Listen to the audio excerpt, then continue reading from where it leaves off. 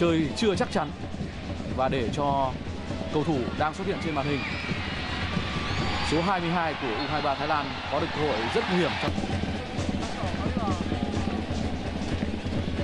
vẫn là một tình huống để cho đối phương vượt qua của Đỗ Duy Mạnh. Và sau đó thì không còn cách nào khác. Trần Đình Trọng đã phải phạm lỗi bên trong vòng cấm địa. Đúng phải hôm nay hay không?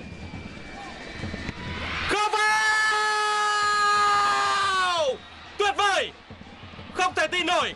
Xứng đáng được nhận những lời ngợi khen ngoài hai tình huống tỏa sáng của công phượng.